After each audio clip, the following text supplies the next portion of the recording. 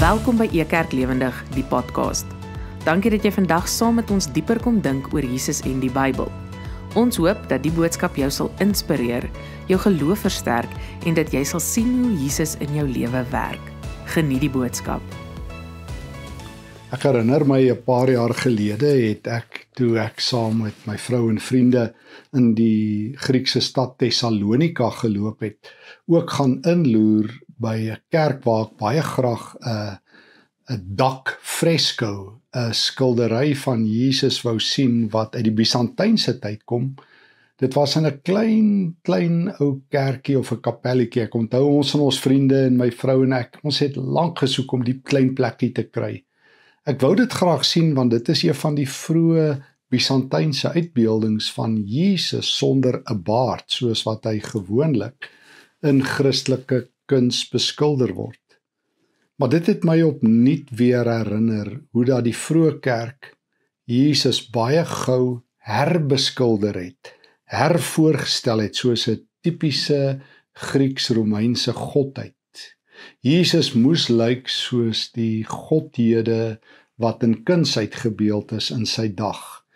Die vroeë Christelike kuns het hom 'n mooi goue strale kraans bygevoeg het vir hom 'n swaard in sy hand gesit en in 'n paar oomblikke was die knegg van die kruis vervang in 'n militêre godheid wat ook uiteindelik die Romeinse ideologie van die dag moes dien. Was dit nie die beroemde keiser Konstantin wat 'n droom gehad het waar hy ehm uh, sou gesien het uh, vir Christus en dan gehoor het in hoc siek nou in hierdie teken oorwin nie. Hy het hom met sy kruis gesien en toe maak Konstantin 'n kritiese fout waaronder ons tot vandag toe lê. Hy het 'n kruis gesien en in hierdie teken moes hy oorwin. Pleks dat hy na 'n goeie geestelike leier toe gegaan het, het hy besluit dis 'n militêre simbool die kruis aangebring op sy soldate se skilde en van toe af het die Christendom op so baie plekke verander van soos wat ons Here Jesus was die hemelse dienskneg die seun van God wat sy lewe kom aflê het het dit verander in 'n militêre godsdiens 'n militante godsdiens. Tragies genoeg is so baie oorloë van toe af in die naam van die Here geveg Dit is eintlik nog altyd so. Die Ou Testament vertel vir ons van baie oorloë. En tragies genoeg vertel die kerkgeskiedenis vir, vir ook vir ons van baie oorloë waar die waar die kruis 'n wapen van beset geword het, van inname geword het, van oorname geword het. Miskien moet ons nie te verbaas wees nie, want dit is eie aan ons as mense om te beklei, om op te staan, om altyd te dink in terme van wen en verloor en ons wil altyd aan die wenkant wees. En as ons dit nie op 'n ander manier kan regkry deur die eeue nie, dan moet ons 'n swaard in die hand hê. Hoeveel hoeveel keer ook in ons eie geskiedenis is oorlog nie met uh die Bybel geregverdig nie. Hoeveel keer word ons nie nou in hierdie dae ingedwing in keuses wanneer en Israel en Hamas hulle op op hulle godsdiens beroep om hulle oorlog te regverdig nie, dan word Christene tot hier in Suid-Afrika en waar jy ook al kyk gedwing om kant te kies. As jy nou by Netanyahu wat sê hy gaan Gaza gelyk maak met die grond of as jy by die Palestynse kant waar die mense sê dit is teen God se wil en wat ook al. Ek herinner my juis aan ons Here Jesus. En dit is juis ons tema vanoggend moenie met 'n swaard na 'n kruisgeveg toe kom nie. Moenie dink die disippels het hier aangesteer nie. Hulle het Jesus se denkbeeldige woorde in Lukas hoofstuk 22 uh verkeerd verstaan. En nou as Jesus gevang word, daag twee van sy disippels, minstens twee eintlik almal, gewapend op. Ek lees saam met jou vanoggend uit Johannes 18 dat Jesus na die um, Kidron Vallei toe gegaan het Johannes 18 vers 1 Judas die verraaier het ook die plek geken uh omdat Jesus dikwels met sy disippels daarheen gegaan het. Judas het toe 'n afdeling soldate, asook van die wagte van die hoëpriester en die fariseërs bymekaar gekry. Hulle is na die tuin toe gewapen met lanterns en fakkels en wapens. Jesus het geweet wat op hom wag. Hy het vorentoe gekom en hulle gevra: "Wie soek julle?" Hulle het geantwoord: "Jesus van Nasaret." Waarop hy antwoord: "Dit is ek." Nou hier het ons 'n duidelike sinspeling, die Griekse woorde ego eimi op die verbondsnaam van die Here waarmee hy homself aan Moses bekend gemaak het in Eksodus 3 toe Moses gevra het wie sal ek sê stuur my na die Egiptenare toe het God gesê ek is wie ek is en dit word in die Griekse weergawe van die Ou Testament ook so weergegee ego eimi ek is myself wie ek is Jesus staan voor sy sy gevangenemers as die lewende God Judas die verraaier het ook tussen hulle gestaan. Toe sê Jesus weer 'n keer vir hulle: "Ego eimi, dit is ek." Hulle het agteruit gestruikel en op die grond neergeslaan. Hulle besef met eens wie Jesus sê hy is en die skok effek net van sy woord laat hulle neerslaan. Maar hulle kom weer tot hulle positiewe as Jesus vra: "Wie soek julle?" en hulle het weer geantwoord: "Jesus van Nasaret." Dan antwoord Jesus 'n derde keer: Ek het vir julle gesê, dit is ek. As julle my dan soek, laat hierdie mense gaan. Sy bang maar dapper klein groepie disippels rondom hom, laat hulle gaan. Reeds hier in Getsemane ruil Jesus plekke. Kom hy om homself op te offer sodat sy disippels letterlik met hulle lewens kan weggaan. Want dit is 'n groot groep soldate wat hier is. En Judas is die aanvoerder met sy soen waarmee hy Jesus verraai, soos wat die teks ook vertel, al die evangelies vertel. Maar Jesus maak seker vers 9 dat sy woorde waar word van die wat U my gegee het, het ek nie een laat verlore gaan nie. Simon Petrus is egter ook op die toneel. Simon wat flissies net nou toe Jesus die Paasmaaltyd vervang het met die ete van die Here, beloof het: "Here, al sal almal u in die steek laat, nie Petrus nie, ek is tog u rots, ek is tog Rocky, ek is tog die een en ek het 'n swaard." En hy pluk daai klein swaard van hom uit. En uh, al die evangelies vertel hiervan en Matteus en Markus en Lukas en Johannes dat hy toe uh die slaaf van die hoëpriester se oor afkap. En ons hoor sy naam, dis net Johannes wat vir ons sy naam gee. Die werker se naam was Malchus. Dit is Lukas wat vertel Jesus doen onmiddellik 'n genesingswonder ook daar in Lukas 22 deur die man se oor te herstel. Alhoewel Johannes dit nie vertel nie, vertel hy vir ons die naam van hierdie man. Maar al vier evangelies is eens daaroor dat die disippels swaarde bring na Jesus se kruis geveg. Dat hulle dink en soos baie Christene vandag nog dink, God se koninkryk moet deur geweld aanbreek. Ons moet mense op hulle plek sit. As mense God belaster, dan moet ons hulle vasvat. Ek onthou ruk gelede toe hier aan die Oosrand uh ek dink ek weet nie of die bord nog daar staan nie, 'n ander godsdiens uh, bord opgerig het wat ehm um, ander godsdienste se beginsels bevorder en sê Jesus is nie 'n is maar net 'n profeet en nie God nie. Dat party Christene dit wou kom afbrand. Dat party Christene die wapen wou opneem. Ek onthou iemand nog in 'n publieke dagblad geskryf het dat ons almal gaan gestraf word. Uh, ons almal en ek bly ook op die Oosrand hier waar ek nou die woord met jou deel. Blykbaar nou nie opstaan vir die Here nie want ons wil 'n swaard na 'n kruisgeveg toe saambring. Die vroeë kerk het Jesus se kruis toegeverf en hom soos 'n Romeinse god laat lyk en die swaard wat uit sy mond kom, die tweesnydende swaard teruggesit in sy hand. En die kerk bewapen met soldate en ons het 'n militêre weermag geword. En Jesus sê: Moenie 'n swaard na my kruisgeveg toe bring nie. Toe Petrus begin beklei Toe stop Jesus hom. Dit is Jesus self wat by een van die ander evangelies sê by Matteus in hoofstuk 26 dat Jesus sê, dink jy nie Petrus dat ek in hierdie oomblik as ek wapens wou hê, meer as dit kon doen nie? Dink jy nie net ek kom my vinger klap en daar sou 'n hele weermag van engele opgedaag het en elkeen van hierdie mense in een oomblik met die asem van hulle mond weggeblaas het nie? Dink jy nie ek is in staat om na myself om te sien nie, Petrus? En nou wil jy jy my koninkryk deur 'n swaard laat kom. Het jy vergeet, jy Petrus, jy Stefan, jy gelowige, jy wat sê jy volg Jesus? Het jy vergeet wat ek in Matteus 5 vers 9 gesê het? Salig is die vredemakers. Het jy vergeet dat ek by wyse van spreuke 'n nuwe vlagdraer in jou benodig? 'n Vlagdraer wat wat nie met wapengeweld my koninkryk uitdra nie, maar met liefde. Ek het al vertel, mag ek weer van 'n verhaal wat ek eendag raak gelees het van 'n vlagdraer in die ou Amerikaanse Vryheidsoorlog toe die noorde en die suide so teen mekaar geveg het. En die vlagdraer was altyd uh, in die voorste linie. En die vlagdraer moes hierdie swaar vlag van sy weermag vashou ongewapend. Moes 'n baie dapper persoon gewees het. En op 'n dag het een van die generaals sy weermag opdrag gegee om terug te val.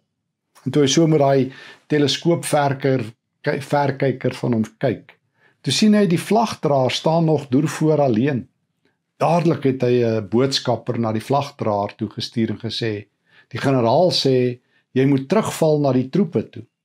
Na rukkie kom die boodskapper na die generaal toe en sê: "Generaal, die vlagdraer sê die troepe moet terugkom na hom toe. Hy val nie terug nie. Hulle het grond afgegee."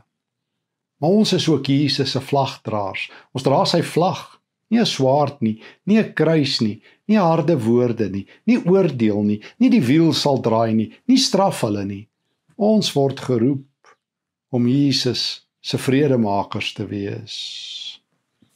En toe Jesus hier weggevat word, toe hy hier weggevoer word soos 'n misdadiger en uiteindelik voor voor die Joodse raad verskyn en wreed mishandel is en geslaan is deur hulle wat die swaarde en die geweld en die mag in hulle hand het, wil hom gespoeg en mishandel het, word hy uiteindelik na die Romeinse goewerneur Pontius Pilatus geneem. Hy word uitgelewer.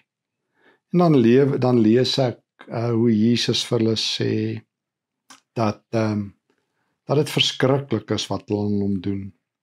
En uiteindelik staan hy voor Pilatus, na vra Pilatus vir hom in vers 33 van Johannes 18. Nou maar is jy 'n koning? Ehm um, dan dan sê Jesus uh vir hom dat ehm um, hy eintlik 'n koning is van 'n ander koninkryk. Vers 36. Hoor dit bietjie. My koninkryk is nie soos die koninkryke van hierdie wêreld nie. As my koninkryk so was, sou my volgelinge 'n geveg opgesit het en die Jode my nie in hegtenis kon neem nie. Maar my koninkryk is nie soos die koninkryk van hierdie wêreld nie.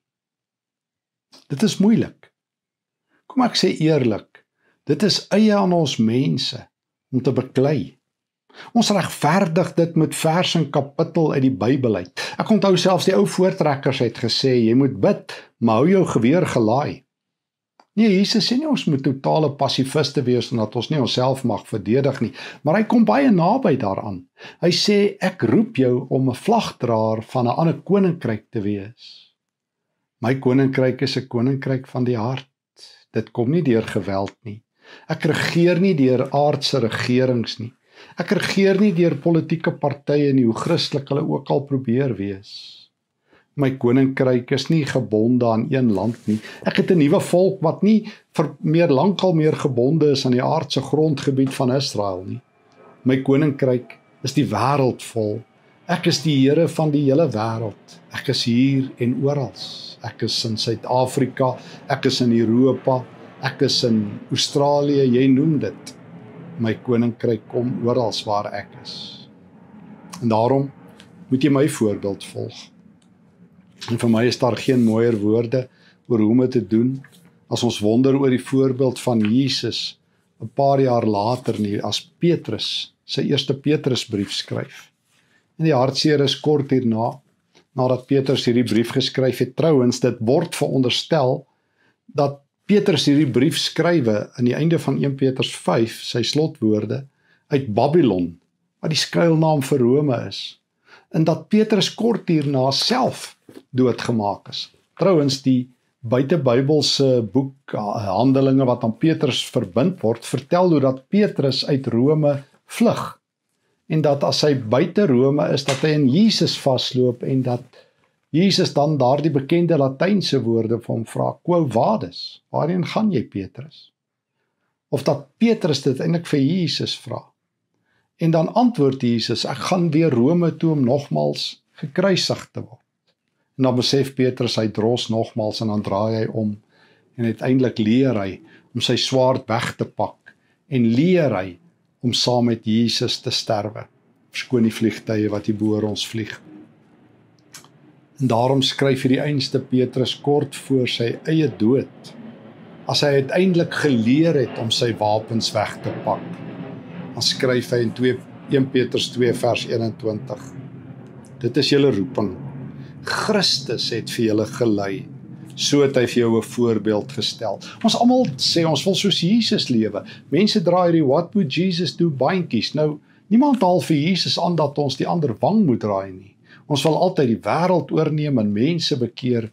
Jesus het vir jou 'n voorbeeld gestel sodat jy in sy voetspore kan volg. Hoor nou, Jesus het nie sonde gedoen en enigiemand bedrieg met wat hy ooit gesê het nie. Toe mense hom sleg gesê het, het hy hulle nie terug sleg gesê nie. Toe hy gelei het, het hy mense nie gedreig nie. Hy het dit oorgelaat aan hom wat regverdig oordeel. Hy het selfs ons sondes in sy liggaam aan die kruis gedra sodat ons vir die sonde dood is en kan leef vir dit wat reg is. Deurdat hy verwond is, is jy gesond gemaak. Julle was so skape wat in alle rigtings gespat het, maar nou het julle teruggedraai na die herder toe, hy wat behoorlik na julle kan omsien. Ons volg nou 'n nuwe herder. Die herder van die skape. Ons lewe wapenloos, geweldloos, vredevol, vrede van die hart wat ons oorweldig het, 'n vrede wat ons agterna loop en agterna leef jy bring nie 'n swaard na 'n kruisgeveg toe nie. Jesus alleen het geveg en nou het hy my een van sy kinders gemaak. Ek hoef nie weer te veg nie, nie weer te bloei nie. Ek hoef nie sondaars en goddeloses en ateïste op dieselfde manier as wat hulle met my maak op hulle plek te sit nie. Ek beledig en laster nie terug as mense die Here laster nie. Op 'n stylvolle manier dra ek sy kruis. Ook mag sê wat reg is en ek moet ook en ek sal ook. Maar ek doen dit met die liefde en die deernis van die Here. Ek is 'n verdwaalde skaap wat gevind is deur die herder. Aan die kruis het hy alles vir my betaal. En daarom is my swaard weggepak en ingeruil vir 'n hart van vrede 'n hart wat vrede gee.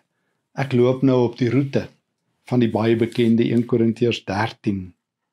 Ek is nou iemand wat met liefde leef, die liefde wat ek aan die kruis gesien het.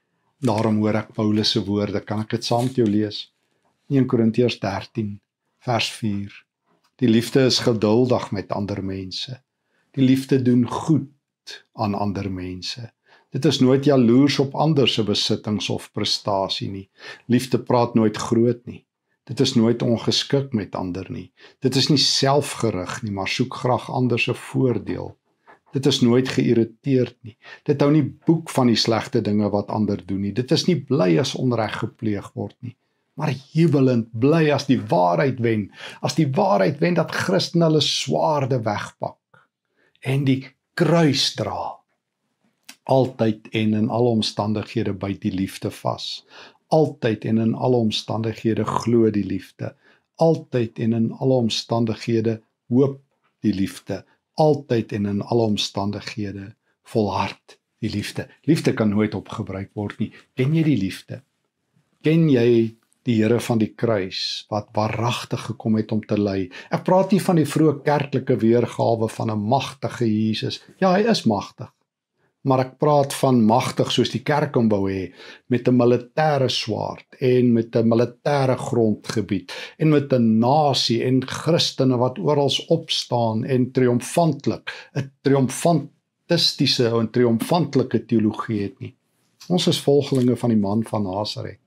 Ons dra die dood van Jesus met ons saam. Is dit nie wat Paulus 'n paar keer geskryf het nie? Hy vertel onder andere vir die Korintiërs in 2 Korintiërs 4. Ons dra die dood van Jesus altyd met ons saam sodat die lewe van Jesus in ander sigbaar kan word. Nou toe, pak weg jou wapens. Jy bring nie 'n swaard na 'n kruisgeveg toe nie. Vra vir Petrus. Jesus sê sy koninkryk is nie van hierdie wêreld nie. En raai wat? Militêre koninkryke kom en gaan. Die een regime na die ander staan op en val. Die magtige Romeinse ryk het verkrummel. Die groot Ottoman ryk het verkrummel die die magtige kommunistiese ryk is maar altyd in aan die sidder nie deur swaard of deur geweld nie maar deur my gees sê die Here sal ek my koninkryk laat kom en nie is die poorte van die hel sal die boodskap stil maak dat ek die Here is nie. Volg Jesus. Dra sy kruis. Nie 'n swaard nie. Jy's geroep vir 'n kruisgeveg nie vir 'n swaard geveg nie. Hoor die woord van die Here. Here leer my om 'n vredemaker te wees, om by u kruis vrede te vind en om in liefde te leef. Ek pak my swaard weg. Ek wil nie soos Petrus veg vir 'n plek nie. Ek wil nie soos ander godsdienste veg en beklei nie. Ek wil nie soos politieke ryke veg en beklei nie. Ek wil 'n vredemaker wees. Ek wil u vrede ken en in liefde lewe. Vul my met u gees. Amen. Dankie dat jy vandag saam gereis het.